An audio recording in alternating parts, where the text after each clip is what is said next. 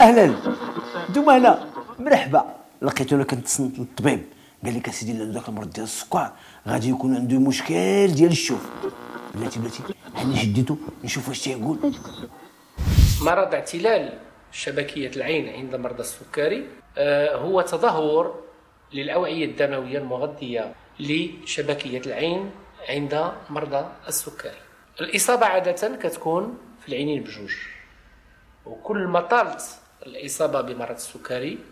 كل ما كانت الإصابة لشبكية العين أخطر وأعظم. ونزيدكم. راه قال لي عنده 15 عام ديال هذا المرض ديال السكر خصو يزور الطبيب. لأنه هو باش ما تعطلت عليه المشكل تيكبر. حيت هذا المرض ديال السكر تيدخل معاه ولا بحال النعاس هو فيق فيق مع الطبيب.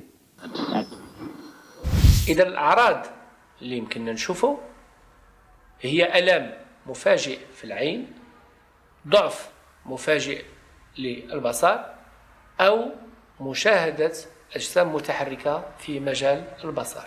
المشاكل اللي كتزيد من خطورة هذا المرض هي التدخين الحمل ارتفاع الضغط الدموي وارتفاع نسبة الدهون في الدم. اييه ايوا راه نقولها ونعاودها. مرة مرة الإنسان خصو يزور الطبيب. أجي وباش بدنا نداويو هذا الشيء اصي الطبيب. بالنسبة للعلاج العلاج الأول هو وقائي. كل ما كانت نسبة السكري متوازنة عند المريض هذه هي الحماية الأولى لمضاعفة داء السكري على شبكية المريض. العلاج الثاني هو علاج بالليزر لاعتلال الشبكية واللي كيحمي من تدهور البصر.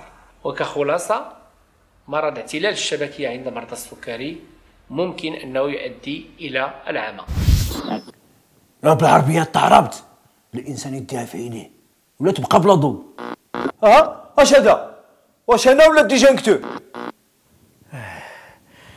ايوا الحمد لله.